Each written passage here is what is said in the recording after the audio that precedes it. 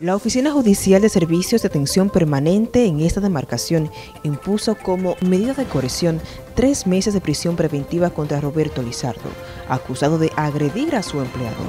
El abogado Adriano de la Cruz ofrece los detalles. Resulta que el Ministerio Público pide una prisión preventiva por la falta del presupuesto. Es jovencito, no tiene cédula y entonces no tenía ningún tipo de arraigo.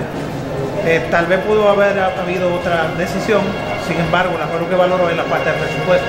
Y eso es lo que la medida de coerción establece. O sea, si tiene arraigo que puede demostrar que puede presentarse a todos los actos del proceso, entonces podrían darle una diferente que no sea la prisión preventiva. En este caso, eh, al parecer la juez tomó en cuenta de que el imputado no tenía ningún tipo de documentación y precisamente por eso le aplicó la prisión preventiva. Felicia Almanzar, madre del apresado, alega su hijo golpeó al patrón luego de ser agredido. Afirma tiene pruebas que avalan su versión. Considera el proceso judicial es irregular. Estos son los papeles que él tiene, como que él lo agredió a él primero y él le dio, porque él le dio primero.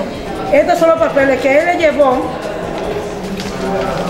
a él, que se lo mandó el abogado Junior y no se lo quisieron aceptar. No se lo quisieron aceptar. Entonces, como no se lo quisieron aceptar, volvieron para allá, dieron tres meses de preventivo. ¿Por qué usted entiende que no le quisieron aceptar? Porque el abogado no quiso aceptarlo el papel cuando se lo mandó Junior. Giovanni Cordero, NTN, su noticiero regional.